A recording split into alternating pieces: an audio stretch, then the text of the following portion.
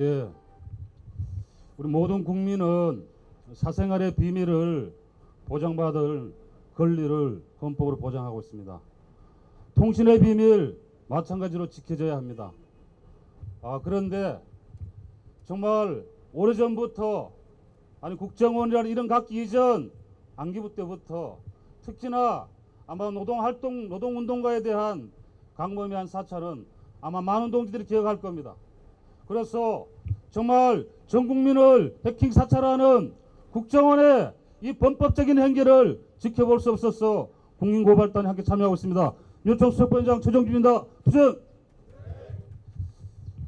예. 그저께 국회 정보위에서 추궁하고 이병호 국정원장이 대답하는 이런 모습을 보면서 의혹이 풀리는 것이 아니라 더욱 분노가 치솟고 답답하고 이렇게 해서 진짜 과연 진실을 밝힐 수 있을 것인가라는 우려가 커집니다.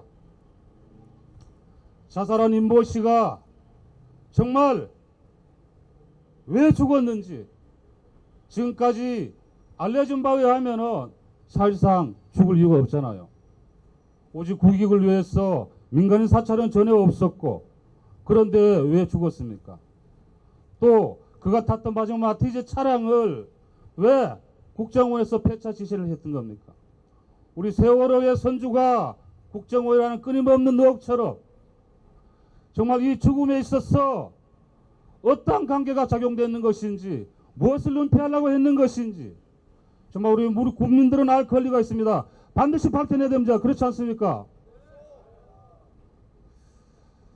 정말로 조작하고 대선 개입하고 정통성도 정당성 없는 이 정권이 이제 국정원이 해킹을 통해서 우리가 확인한 것처럼 우리의 모든 일거수일투족은 손바닥 위에 놓인 것처럼 다 노출되어 있습니다. 특히나 노동 생존권을 위해서 지키는 우리 민주노총으로서는 더욱더 이 문제가 예사롭지 않기에 국민 고발단을 더욱 확대해야 된다고 생각합니다.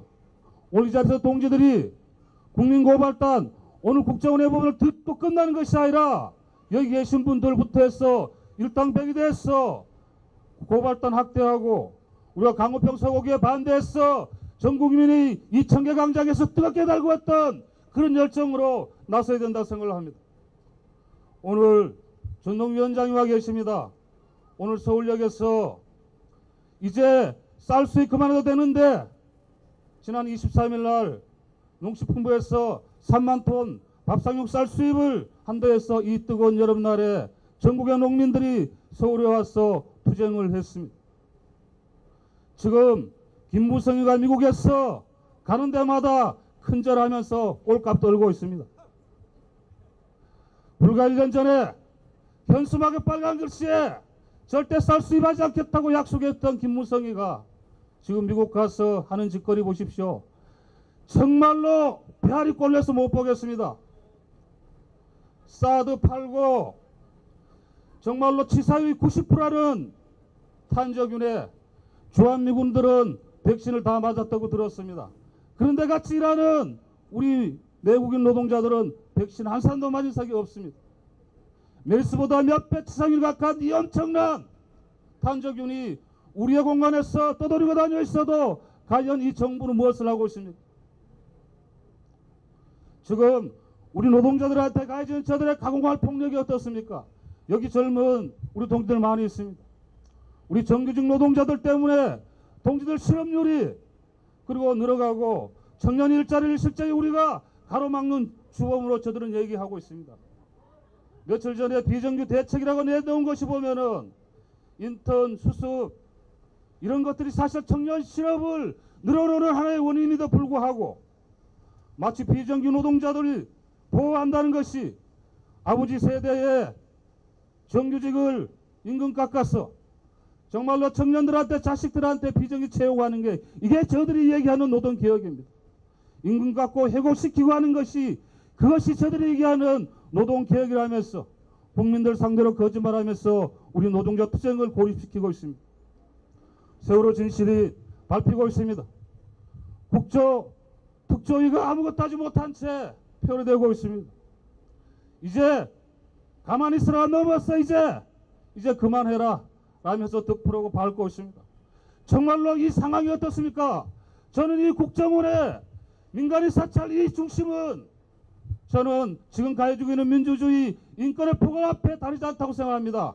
노동자 농민의 생존권을 위해서 투쟁하는 목소리나 국정원 해킹 사찰을 반드시 한점 의혹 없이 우리가 힘으로 나서야 됩니다. 여야에 맡겨놓을 수 없습니다. 이미 많은 것을 경험했지 않습니까? 그래서 단 한 사람이 더 많이 이 국민의 기본권을 불가치한 인권을 지키기 위해서 힘차게 준비합시다. 비록 여러 가지 어려운 속에서 아직은 미비한 촛불이지만은 이 촛불 하나가 폐기되고 처리돼서 이 강장을 넘치도록 힘차게 투쟁 조치했으면 좋겠습니다. 투쟁! 고맙습니다.